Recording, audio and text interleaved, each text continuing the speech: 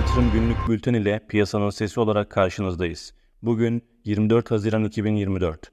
Güne 10.754 seviyesinden başlayan BIST endeksi gün içinde en düşük 10.708, en yüksek 10.792 seviyesinden işlem görürken günü 31.42 puan yükselişle 10.771.36 seviyesinden tamamlamıştır.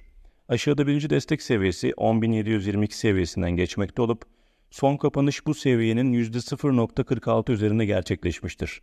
Yukarıda ise dirençler sırasıyla 10.807, 10.842 ve 10.891 seviyelerinden geçmekte olup son kapanış öncelikli direnç seviyesinin %0.33 altında kalmıştır.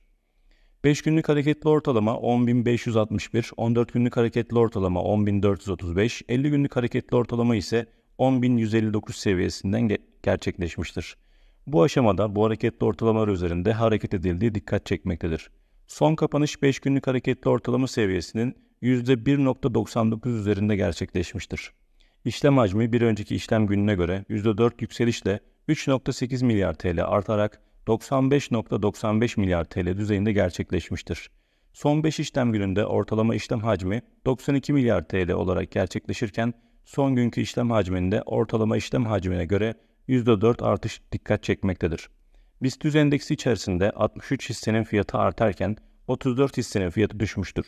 3 hissenin fiyatı ise önceki güne göre değişmemiştir. Bizi dinlediğiniz için teşekkür eder, bol kazançlar dileriz.